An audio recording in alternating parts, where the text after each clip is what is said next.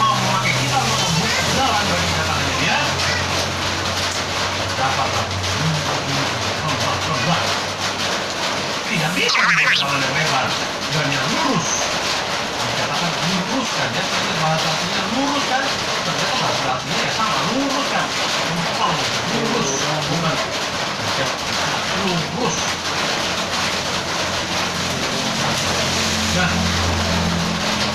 itulah yang disebut di Yesaya 40 ayat 3 Jalan ya. Yang bahasa King James-nya highway. Five and tidak keren sekali di highway tapi di jalan tol. Karena jalan-jalan tol modern ini kalau kita lihat jadwal ini sudah empat jalur negara-negara hebat tujuh delapan jalur.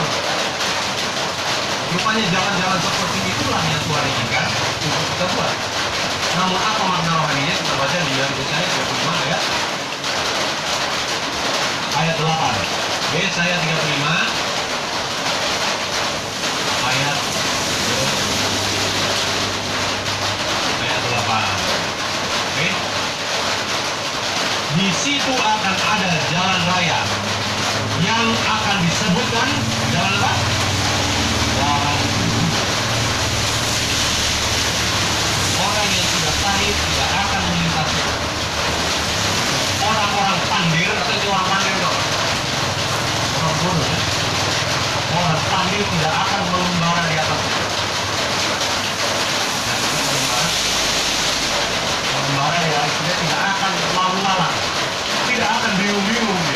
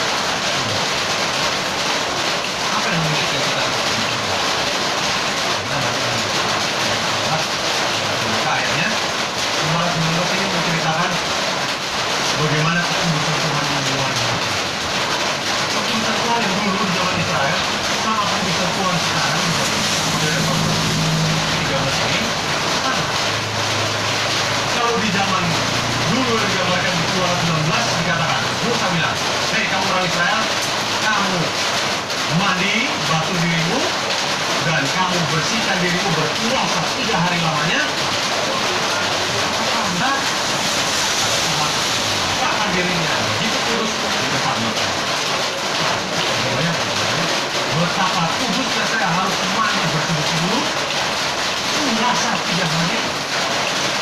Tuhan ini akan datang di hadapan kita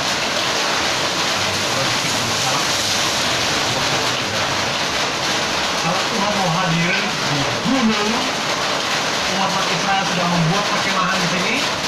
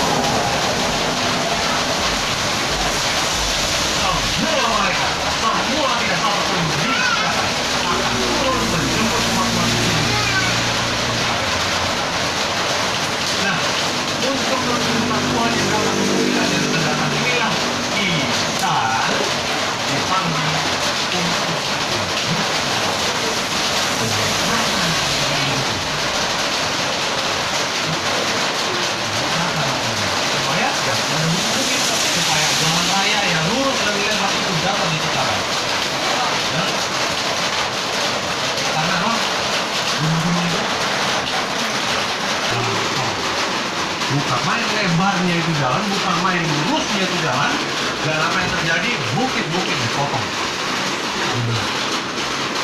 Diisi di lemah-lemah sehingga jalan itu bisa menembus.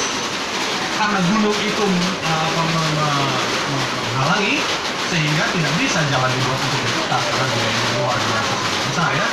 Jadi gunung itu saja bisa melalui.